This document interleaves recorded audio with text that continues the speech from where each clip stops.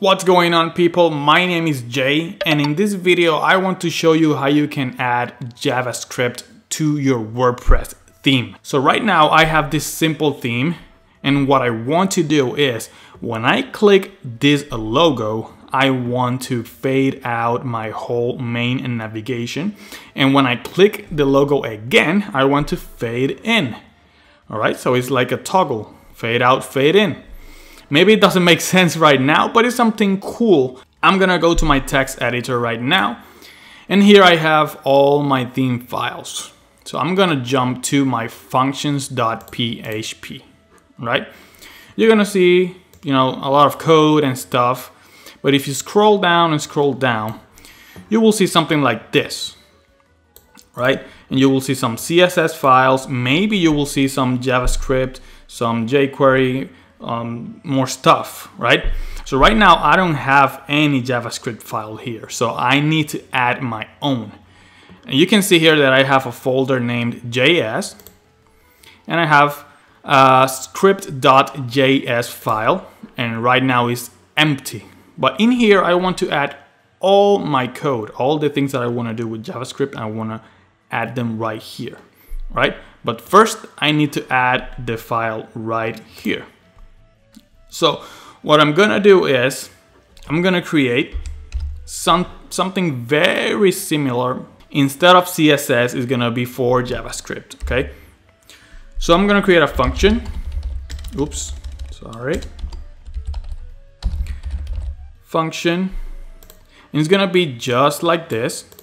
So I'm gonna, you can choose whatever name you want for this function. So let's say cool scripts all right. Just like that, some brackets. And now inside here, we're gonna add WP enqueue. Instead of style, you can see here that it said style is gonna be scripts, all right? So don't get confused because it's not gonna work if you, you, if you use style adding a JavaScript file, okay? Now inside here, you're gonna add the handle, which you can see here are some different names. They can be whatever you want. So for mine, I'm just gonna put like, cool stuff. All right. Now, comma. And here's gonna be the same thing, all right? The get style sheet directory URI. All right, so let's get that done. You can see it right there. Awesome.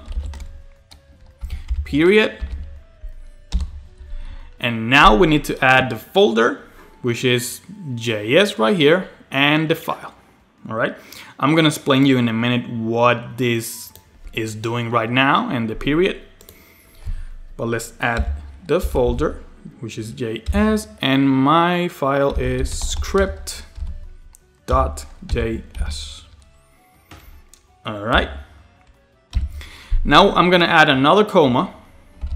And here I need to add my dependency. So I depend on jQuery because I'm gonna code using jQuery. So I need to add an array. And inside here, I'm gonna add jQuery. And that's it. Now I can use jQuery there. Another comma. And here you need to add your version, the version of your script. So let's say mine is 1 1.0.0. If you don't want to, you can just put in here false and that's it. But I'm gonna leave it to in 1.0.0, just like that. All right, another comma, and now this is the last thing. Do you want this script in your footer Yes or no? I don't, so false. I want I want this in my header. Okay? Alright, so what I'm gonna do is I'm gonna right click my site, I'm gonna go to my view page source. I'm gonna scroll down, you'll see all the code. And you can see here, look at all this. All this is right here, all this. All right. Now, do you see this get template directory URI? Well, that thing is doing all this long URL. All right, the uh, WP content, themes, your theme name, all that stuff is doing it for you. Okay. Now you need to add the folder that is inside your theme and the file name and all that.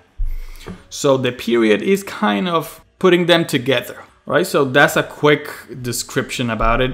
Let's see. This is looking good.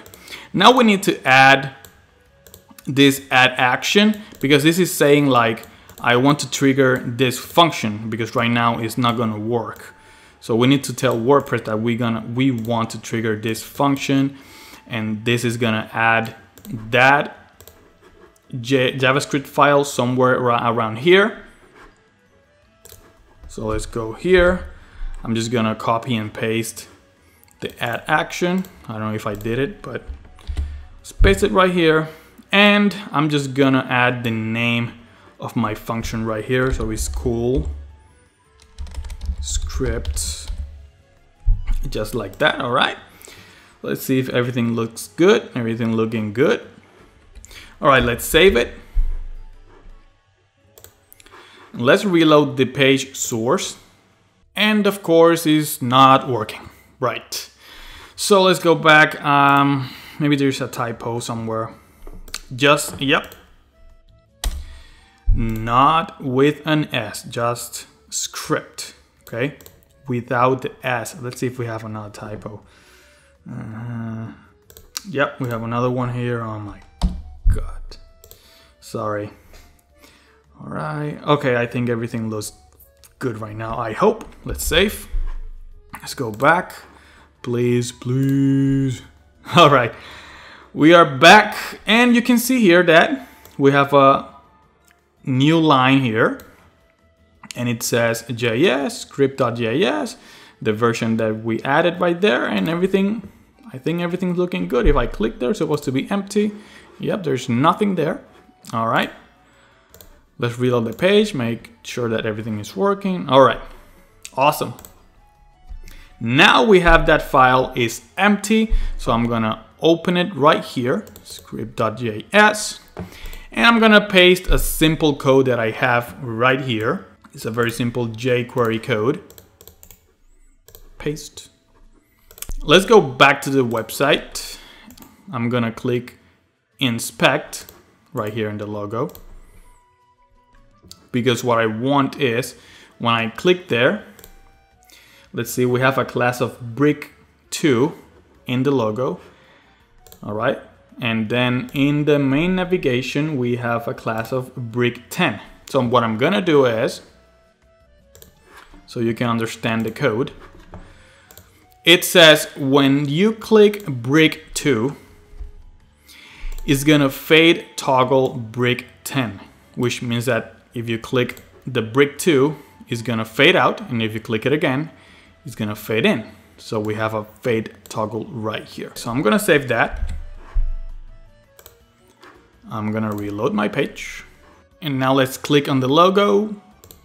Boom!